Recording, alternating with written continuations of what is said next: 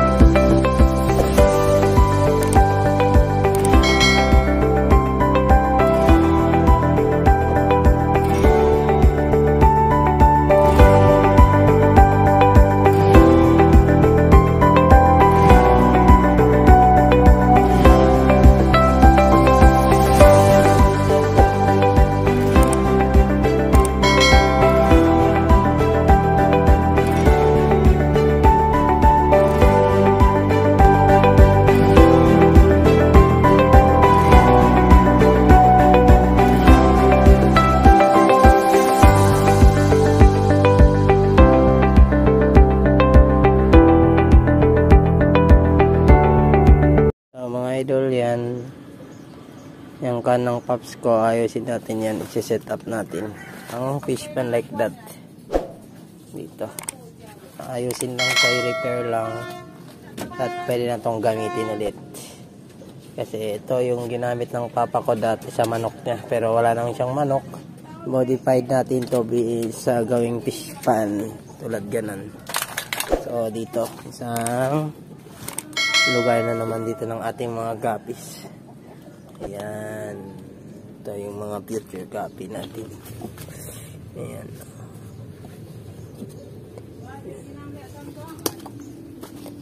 Ito pa. Ito ang mga future guppy. So, pag nagawa natin na yun, doon natin sila ilalagay.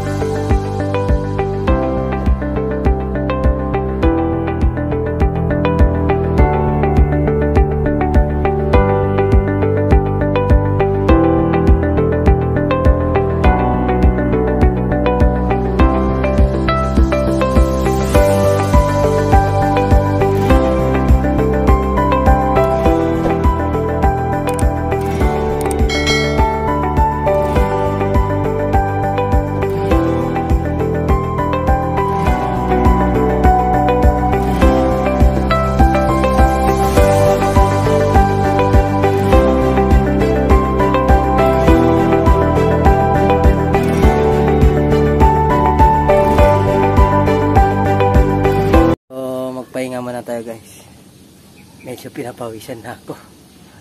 Magpahinga muna tayo. Ayan, yan na lang natira.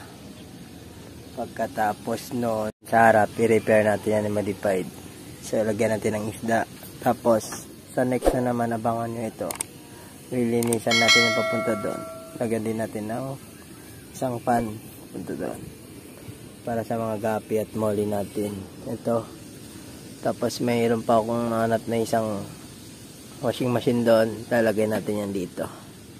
Dito naman yan ika-plaster natin. Magkatabi sila.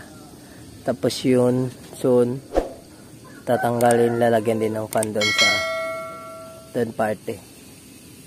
So, paunti-unti. Dito. Maglagay din tayo dito. Dito simula dito. Dudugtungan natin yan. Papunta dito sa dulo. Punta dito. Ayan. Tapos sooner dito na naman. Paunti-unti lang tayo guys. Kasi dumadami ng ating isda. Hindi na alam saan nilalagay. So, konting linis lang to. So, ayan guys. Medyo malinis na yung parte dito. Yung galing dito, pinilipat ko dun sa dulo. Ayan, tapos yung coral dun sa likod, in- tinanggal ka na. Ayan. Medyo malinis na guys. So, ayan, dito parte, okay na yung dito parte. Medyo malinis na siya.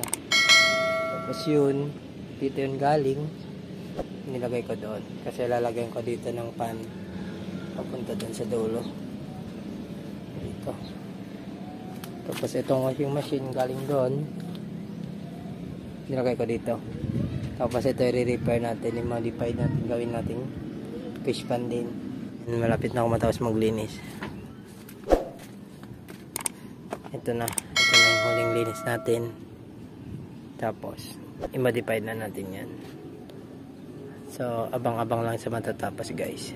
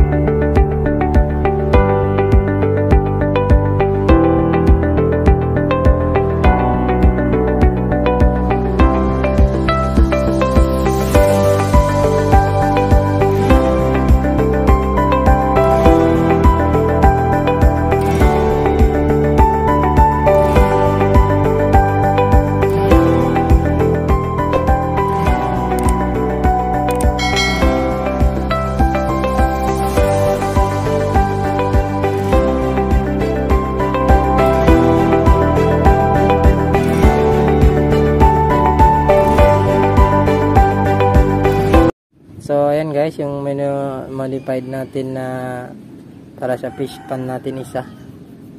So, ito. Oral to ng manok dati, pero sinet up ko na lang ng ganito para hindi na tayo hassle talaga. So, ayan, hanggang dito yung trapal. Ito ganun. Ayan guys, medyo malinis na. Yan. Malinis na. So, dito ready ng trapal natin. Lalagay natin dyan. Next time dito na naman. Yan, ang ating backyard area. So, so ayan guys, hanggang dito na lang ang aking video. So, next time, sa aking video, ipapakita ko kung tapos na itong aking modified fish. At, ayan, ang kinalabasan ng ating paglilinis. So, bye-bye guys!